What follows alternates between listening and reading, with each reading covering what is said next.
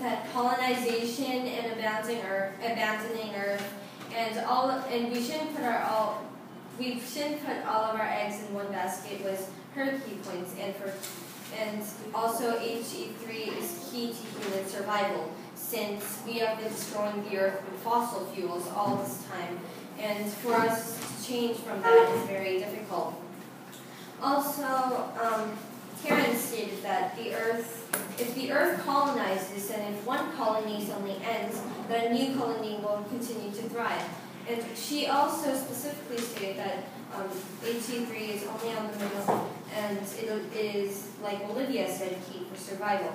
And space will also have sociological um, advantages for us humans on space. And like I said, um, if we continue staying on Earth, then there will be civil war, most likely, since countries have been glaring at each other for millennia and millennia. And Jocelyn stated that um, we, and since we polluted the Earth, why can't we pollute the moon? Well, I can agree. Well, you said that we can. Well, well, you said that um, if we live on the moon, then asteroids will destroy us completely. So how can you have some a statement that says that we can pollute the moon if we can't even foot in there? In your opinion?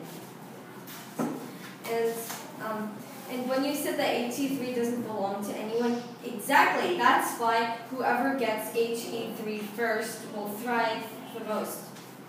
And um, since and HE3 is very important for human survival since fossil fuels have been destroying our planet, which is the cause of global warming.